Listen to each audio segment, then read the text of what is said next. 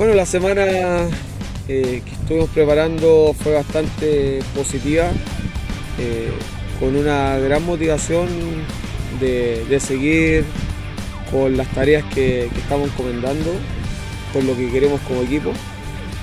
Eh, tenemos un rival bastante difícil el fin de semana que viene de, de, un triunfo.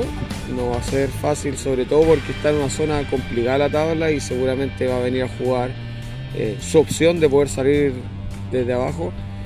Pero nosotros tenemos claro lo que queremos y hacia dónde vamos. Y en ese sentido, eh, los futbolistas los vemos bastante comprometidos, trabajando de acuerdo al plan que queremos instaurar para este, para este partido.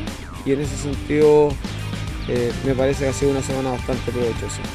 Esperemos que nuestros hinchas nos sigan acompañando, eh, ya que nuestro equipo sigue entregándose al máximo y sigue comprometido eh, con lo que quiere el público y con lo que queremos nosotros como cuerpo técnico e institución. Así que le hacemos un llamado a todos que nos acompañen, que son el jugador numeroso y bastante importante dentro de, un partido difícil como el de Deportivo Mesa.